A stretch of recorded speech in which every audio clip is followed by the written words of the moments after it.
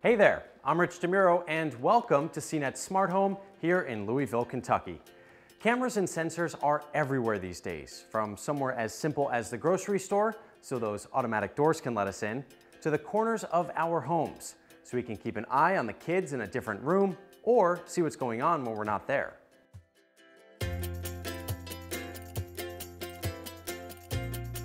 And in the driveway, a smart crossover, the all-new 2016 Lexus RX. It's designed to watch out for you too. A backup camera is just the beginning. This car offers available dynamic radar cruise control, a pre-collision system with pedestrian detection, and a touch-free power door that responds to your movements. Let's check some of this stuff out. First up, dynamic radar cruise control. You've played the game. You set the cruise control, then you come up on the car in front of you, you press the brakes, and you have to start all over again. The RX lets you set a comfortable distance between you and the car in front of you, and radar sensors help keep you at a preset following distance. This is especially handy since it also works in stop and go traffic. Another neat feature is how the RX can help keep you in your lane. It's called Lane Keep Assist, and it can warn you if the car begins to drift out of clearly marked lanes, and it can help steer the RX to maintain the lane of travel. Let's face it, drivers aren't perfect. That's why driving the RX is kind of like having a high-tech co-pilot on your side.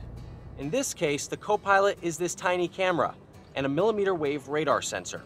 If the available system detects certain objects ahead that you need to avoid, it prepares the brakes for an abrupt stop, so your brakes are super responsive. If you don't hit the brakes and the RX still detects a collision is imminent, the pre-collision system is designed to stop the vehicle under certain conditions. This is technology with the potential to save lives.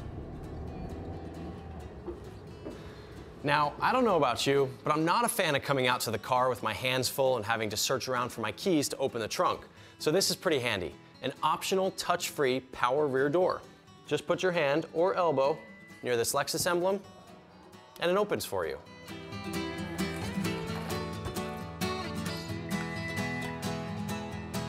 Doesn't get much easier than that. Well, there you have it. Convenience every step of the way. I'll see you next time.